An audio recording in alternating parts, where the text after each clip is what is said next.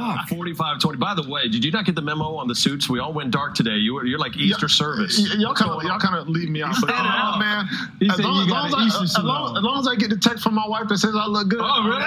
So send, me the text, babe. Send me the text. That's not the one she sent me. I was just- right now, doors. Commercial live TV. 13 to 6. Live TV. Keep my man on the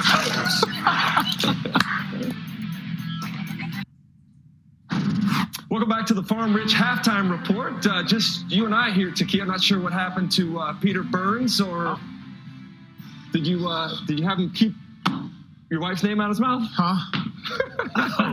We'll, we'll see how Peter Burns is uh, with that smart mouth in the second half. But uh, Gators do not get much going in the first half. Just Uh, 45 20. By the way,